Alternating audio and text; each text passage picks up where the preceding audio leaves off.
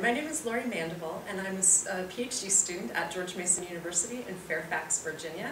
And the area of interest that I enjoy studying is remote sensing of volcanoes, in particular volcanic gases such as sulfur dioxide, and to see how those gaseous emissions relate back to patterns in volcanic activity. I'm here today to present a poster in the 2018 AGU uh, Virtual Poster Showcase, and my poster is entitled Revisiting the Relationship Between the VSI and the VEI Using Data from the OMI Ozone Measuring Instruments Satellite. Um, I have done this research in conjunction with Drs. Arie Croitoru and Ron Resmini, and basically, here is my poster.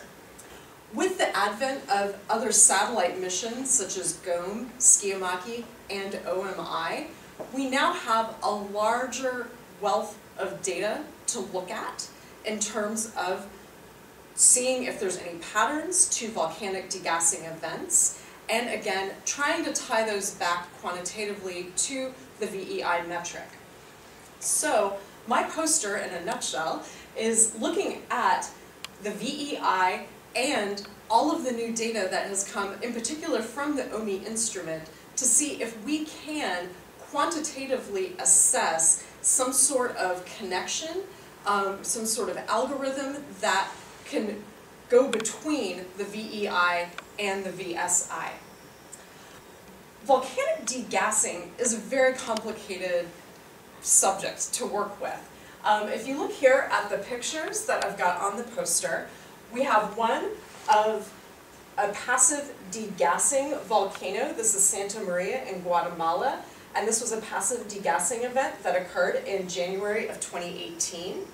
So in this picture, you can see it's just very small plumes of gas that are coming from the volcano. This is in contrast to eruptive styles. Eruptive styles can be effusive eruptions, such as this one. This is a picture of Kilauea or explosive eruptions. This is a picture of Reventador. These eruptions tend to produce more SO2 emissions, and as a result, they'll go slightly higher in the atmosphere and start having interactions within the troposphere, and if it's a very highly explosive eruption, have different types of interactions and reactivity even in the stratosphere. Over the past seven years, a number of advancements have been made in looking at volcanic SO2 emissions. Namely, the hyperspectral uh, UV instruments, such as again, OMI, GOME, and SCIAMACHY, as well as improvements in the algorithms to deduce the data that is coming from those satellites. Paramount to all of this is differentiating between these three different types of emissions that are coming from the volcano. And therein lies a lot of the issues that we have. Trying to structure a quantitative relationship between sulfur dioxide emissions and the volcanic explosivity index is something that is very difficult to do. You have to have definitions for what is passive degassing, what is an effusive eruption, and what is an explosive eruption. Thankfully, the VEI does a lot of that for us. But how to quantify that in terms of the amount of gaseous, gaseous emissions that are coming from the volcanoes is wherein we have issues.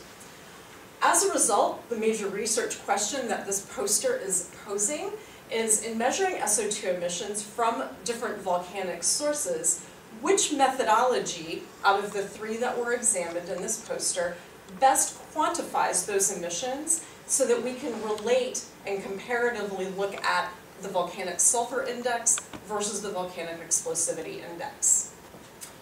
Okay, going back to the poster, so the methodology for this poster was primarily a literature review.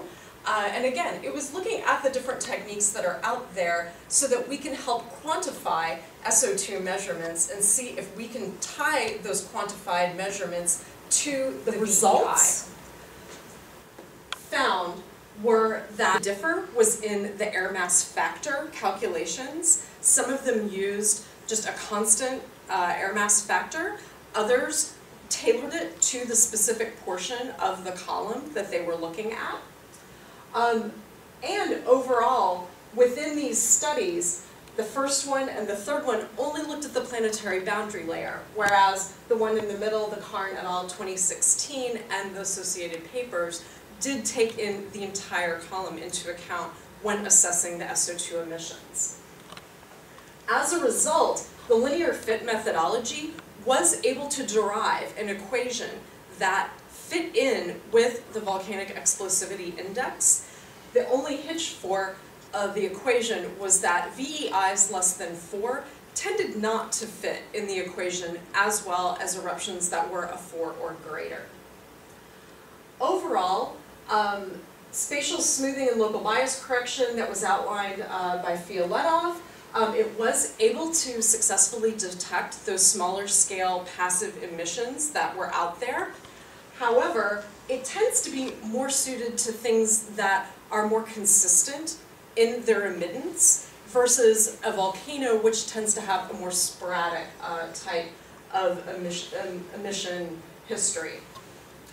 Uh, as of June 2016, um, both all the historic and the current OMI data that's being produced by NASA utilizes the PCA algorithm that was outlined in the Carn et al. 2017 paper uh, to pre-process the data prior to publication by NASA.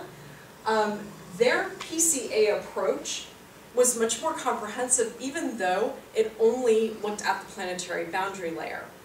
Given the fact that NASA has now taken this principal components analysis type review into account and this algorithm is now employed um, throughout the entire vertical column of OMI values, both historically and currently, we're going to be able to take those values, look at them in the future, and maybe apply some of the techniques that Carn et al. had looked at in their 2017 paper to different portions of the vertical column to see if we can deduce a much better fit for those VEI 4 and less type events and see if we can get those to coincide better with the VEI overall. So overall, while significant improvements have been and continue to be made in these retrievals, all of these methodologies have had pros and cons to them.